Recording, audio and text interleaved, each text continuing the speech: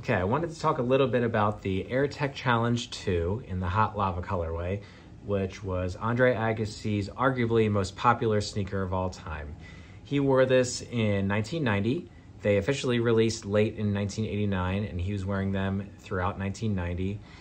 He did not win a major in them, which is kind of ironic because it's such a popular shoe for him.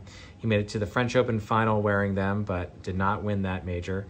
And by the time the US Open came around, he was on to the AirTech Challenge 3. So he didn't even wear them in New York in late in 1990. Uh, this shoe was designed by Tinker Hatfield, classic Tinker design here. It was the first shoe that Andre wore with a visible air sole unit in the heel.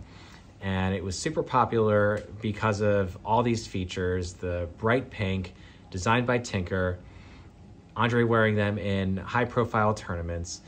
Um, it's retroed several times over the years. This is the 2015 retro that I picked up for about 60 bucks. It's aging quite nicely, I think. I like how it's yellowing in the forefoot here. Um, I've worn them a lot over the years, as you can see. So they're pretty beat up and worn in, but still in pretty solid condition. I remember when I got them, I sized up to an 11 and a half. I'm usually a size 11, and I'm really glad I did because they run small. Um, the materials are okay, not great, but not terrible. So pretty happy to have a pair of these, especially because I didn't have to pay that much. And this is one of Andre's most popular sneakers of all time, the AirTech Challenge 2 in the Hot Lava colorway. Looking forward to another release of them this year in 2024.